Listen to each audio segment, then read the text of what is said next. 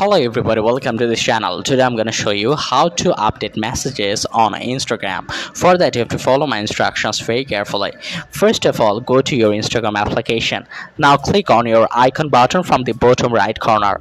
Click on the three line button from the top right corner okay then go to the settings and privacy option now you will be able to see a messaging option but unfortunately you can see that there is no messaging option for myself so you have to wait until the feature appears to your account as it is not for all the account.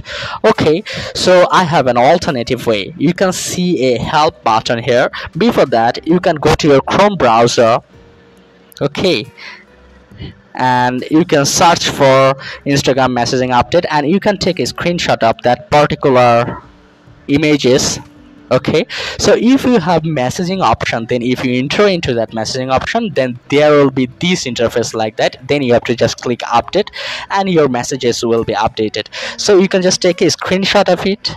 Okay after that go to your instagram application again then click on the help option. Then you can see a report a problem button click on it then click report a problem click include and continue. Then you can just delete this uploaded image then click upload. Then upload that particular images or single image.